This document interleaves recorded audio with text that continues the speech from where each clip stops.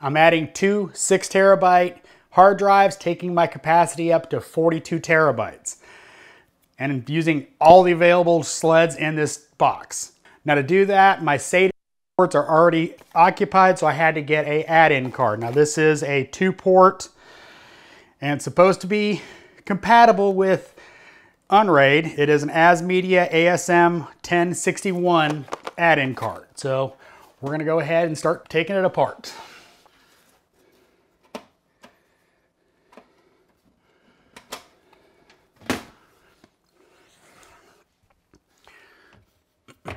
Now, one of the things I'm gonna have to do, or actually may not have to do, is I've got to take the drive sleds out and obviously populate them with the new drives.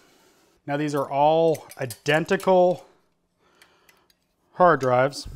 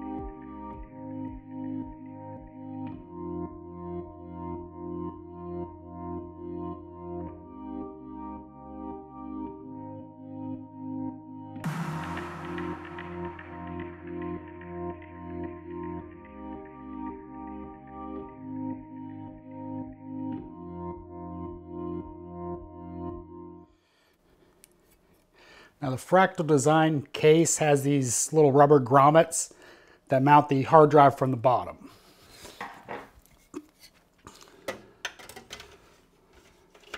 All right, so I got my hard drives installed. Now I need to figure out, I'll put this in the lower slot. All right, save my slot, extra covers.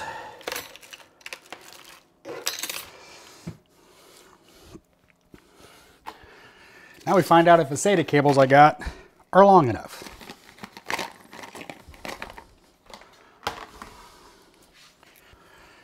Yep, they should be. So as long as I can get power to them, we'll be up and running on two more drives. It's not going to be routed pretty. So we're definitely going to have to turn it back around because I got to add another SATA power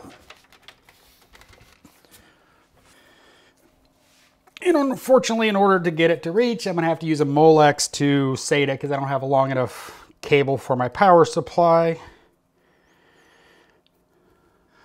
So, fun.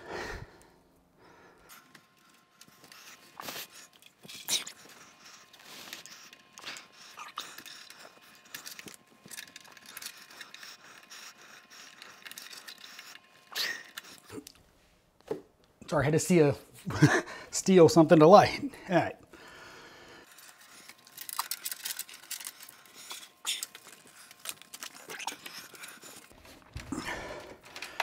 All right, so my two SATA powers.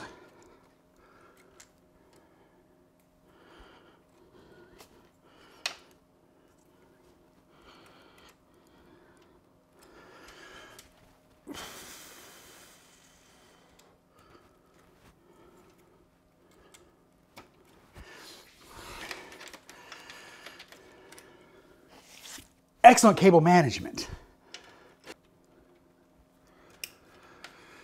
One little quick tip on these cables, you can always bend them a little bit to get them so they don't hit the hard drive below. And then do some folding. And well, as simple as that, we added two more hard drives. In case you can't tell, I keep extra stuff in there. So now we're going to make sure our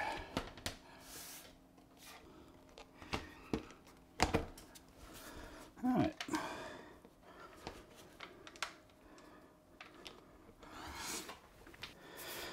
All right, everything's still looking good. I'll button this bad boy up. So we should be able to put it back in its spot and power it up and initialize two new drives. Hopefully, as long as the internet said was correct that this add-in card works.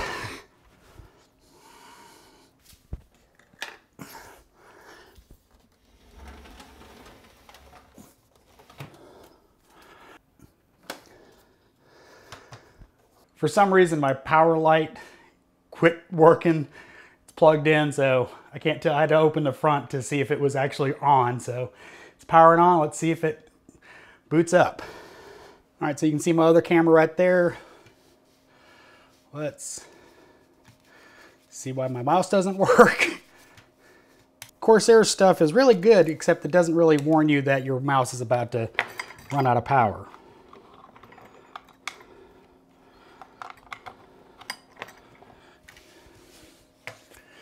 Wow, there we go. All right, so I didn't show it because I forgot to hit record on my screen recorder, but as you can see, I have added two new discs. They are disk clear is started, so it is doing all its process to update those. Now the reason I updated and added two more drives is as you can see, I've already accumulated eight terabytes of data, which is basically a third of my capacity. So anything above six terabytes, I have to swap out the parity drive. It's something that's going to happen down the road, but six terabytes aren't that expensive. So I went ahead and added a couple six terabytes instead of, well, upgrading to a bunch of new drives. So as always, thanks for watching. This is Creator Hardware.